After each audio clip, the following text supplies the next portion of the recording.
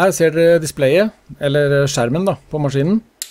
Skjermen er eh, bakgrunnsbelyst hele tiden faktisk. Men den blir først synlig når det blir uh, mørkt. Lyset på, på displayet, da, eller lyset, bakgrunnsbelysninga, den kommer fra en enkel uh, lysdiode som fordeler, fordeler da lyset fiberoptisk. Og dette syns jeg er en genial måte å belyse skjermen på, for det bruker minimalt med strøm. Og dette er også en av grunnene til at jeg favoritiserer akkurat denne maskinen. Det er ikke mange brytere eller knapper å styre med på kontrollboksen, heldigvis. Du har eh, en menyknapp på høyre side og en eh, velgerknapp på venstre side. Det faktum at du har kun to knapper og all informasjonen på én flate i, i displayet, da. uten en masse undermenyer og masse skjermbilder eh, som du kan fort rote deg borti, det er en kjempefordel. I eh, forhold til den gamle modellen så er det noen eh, nye programmer. Og du har litt flere valgmuligheter på bl.a. lydsiden. En av de store nyhetene er DST. DST er enkelt forklart et digitalt filter for fjerning av EMI, altså elektronisk støy, som kan virke forstyrrende på detektorer. Derfor så er denne nye modellen svært mye mer rolig og balansert i områder med mye EMI som jeg skal demonstrere litt seinere i filmen. Det er riktignok én knapp til å betjene på maskinen, men den ligger under kontrollboksen. Den, øh, denne brukes ofte under øh, søkingen. Den har øh, flere funksjoner. Den fungerer som pinpointer, dybdemåler, og du bruker den også når du tar grunnbalansen. Det kommer jeg mer tilbake til litt seinere. På venstre side av skjermen så har du det vi kaller diskrimineringssiden. Og på høyre side så har du all metal-siden. Sensitivitet, eller følsomhet, det justeres i forhold til hvor aktiv maskinen er. Om den støyer en del, så justerer du følsomheten ned til eh, støyet avtar. Skal gi dere en litt artig demonstrasjon på dette litt seinere. Men det er mye som kan påvirke detektoren. Det kan være alt fra atmosfæriske forstyrrelser til svært eh, mineraliserte jordsmonn så har du disklevel, eller diskrimineringsnivå. Her justerer du vekk uønskede metaller. Her bør du være litt oppmerksom på at om du diskriminerer bort for mye, så vil du også redusere søkedybden. Så velger du null, så ønsker du alle metaller velkomne. Velger du 20, så har du da diskriminert bort eh, jern. Men jeg kommer mer tilbake til det når jeg går gjennom eh, detektoren ute. Så har vi notch. Med notch så kan du velge et spesifikt mål som du ikke ønsker, eller velge det inn igjen om du har diskriminert bort et større område. Personlig så bruker jeg aldri notch, da det er fort gjort å gå glipp av noen gode godbiter. Men ser absolutt nytteverdien med denne funksjonen i sterkt eh, besøplede områder. Du kan f.eks. notche vekk bare pull-tabs, eller bruskorker. En fordel jeg vil trekke fram her, er at om du vil velge å notche bort f.eks. nikkel, så trenger du ikke å notche vekk hele nikkelområdet, du kan velge å bare ta deler av det. Denne funksjonen tror jeg ikke du finner eh, på så veldig mange detektorer. Så har vi da lyder, da. Her har du litt å velge i. Du har én eh, det er eh, enkel tone. Og så har du en F. Det er en enkel tone med varierende frekvens i forhold til metalltype. Så har du to F. Der har du to toner. Men det er først i denne lydmodusen at jern eh, er med, da, og med fungerende VCO. Dvs. Si alle metaller er med. Eh, VCO er litt avansert, men det står for Voltage Controlled Oscillator. Dvs. Si en spenningsregulert eh, oscillator som eh, ja, Jeg kan komme litt mer tilbake til det litt seinere. Uh, eh, 2H. Her er en av de mange nyhetene med denne maskinen. Det gir deg to toner, men her vil jern gi deg en høyere tone med høyere volum, slik at jernet vil skille seg godt ut. Så har vi 2L. Det er samme som 2H, men jern vil gi lavere volum. Fordelen med denne modusen er at i områder med mye jern, dvs. Si spiker og lignende, så vil ikke denne typiske gryntelyden fra jern eh, eller fra jernsignaler, da, overstyre eller overgå svake signaler fra mindre objekter som ikke er av jern. Så har vi 1N. Om du ikke liker 2L, så vil du kanskje like 1N.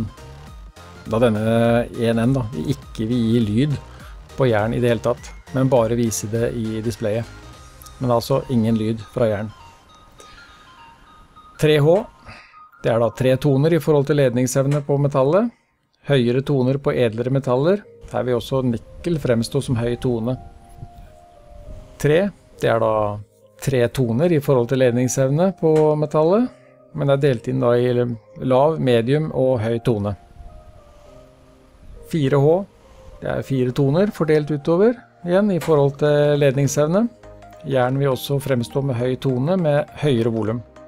Personlig så bruker jeg ikke disse modusene i det hele tatt. Altså fire, fire toner blir litt for mye for meg å forholde seg til.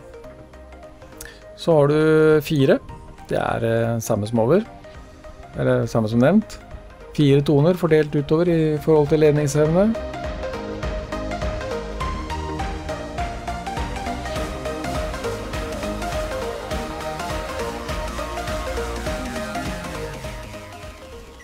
Så har vi prosess, da, eller programvalg.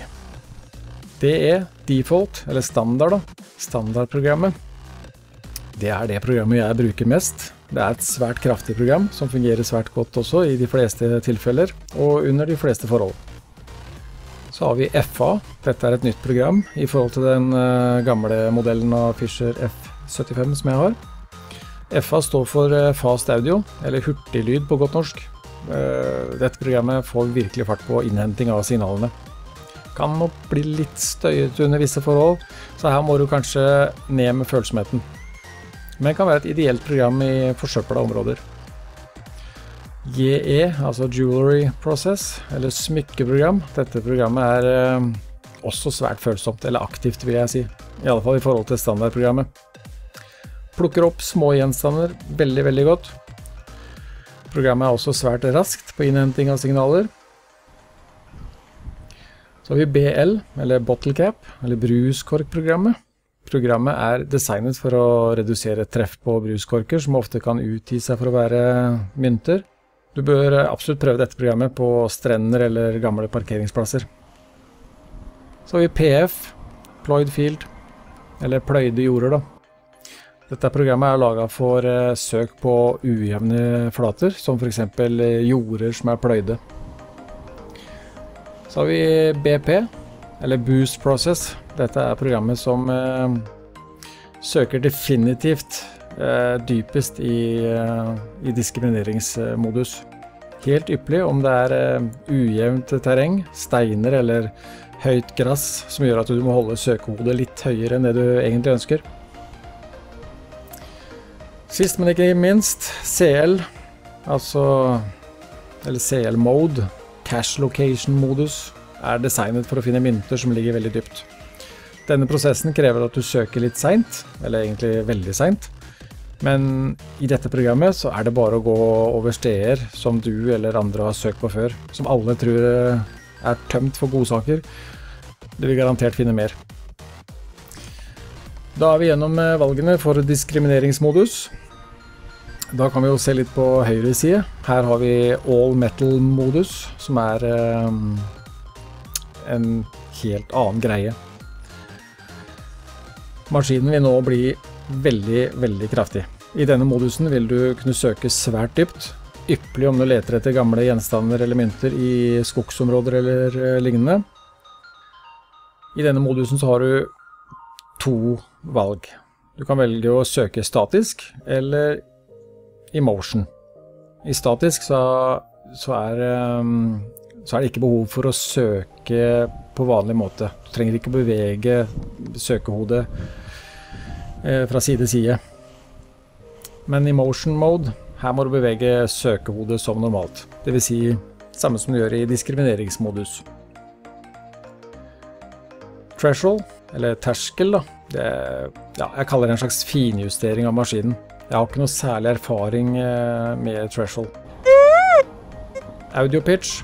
Her justerer du lyden, eller pitch, tonehøyden, da, ja, det er en tonejustering i forhold til hva du liker, eller foretrekker, da. Eventuelt i forhold til din egen hørsel.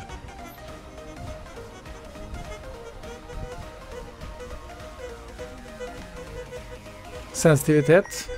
Her justerer du følsomheten på samme måte som i diskrimineringsmodus. Og så har vi GB, som er da grunnbalansen.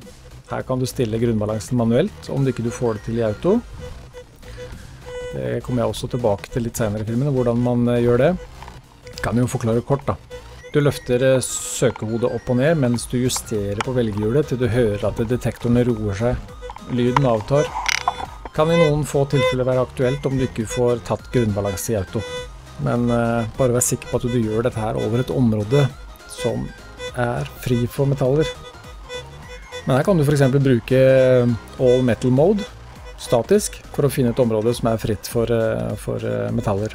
Men å bruke de i auto, sånn som jeg kommer til å vise først og fremst, det er som regel veldig problemfritt. Jeg bare informerer om mulighetene her. Ja, dette var i hovedsak hele menyen på den nye Fisher F75 LTD med DST. Ja, jeg vil også tilføye en liten ting. Som nevnt innledningsvis, så er denne maskinen utrolig enkel å bruke. Det er egentlig bare å slå den på, og så er den klar til bruk. Men en grunnbalanse må til for hvert jorde du går på. Men det er gjort på noen sekunder, så er det, så er det klart å gå. Søkeren er også vanvittig responsiv, og søker veldig dypt. En annen ting jeg også bør nevne, er at den husker siste innstillinger som er brukt når du slår den på.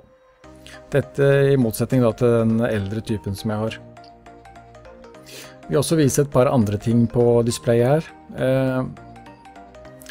Her som det står FE3O2, altså jernoksid. Denne vil vise deg hvor mineralisert jordsmonnet er. Og så har du batteristatus til høyre, selvfølgelig. Her bør du vurdere å bytte batteri når den siste rubrikken står aleine. Du kan forvente en batteritid på mellom 30 og 40 timer, i alle fall. Og et lite tips her er at uh, om du bruker øreklokker, så, så vil batteritiden bli noe lenger. Dept, eller dybde, enkelt og greit, den viser dybden. Confidence er en skala som skal da visuelt vise deg hvor sikker maskinen er på sine analyser av objektet. Det stemmer faktisk overraskende bra, stort sett.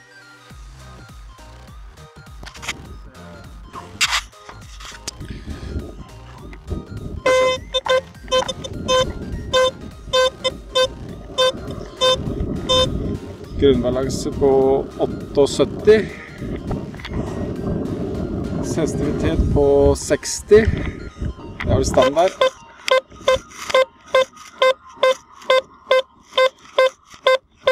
Jeg gravd ned en skilling fra 1771.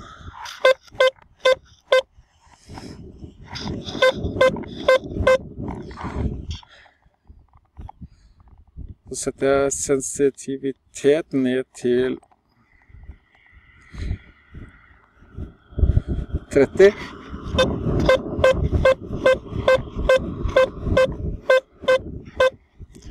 Plukker den eh, lett opp for det. Null følsomhet eller sensitivitet. Den er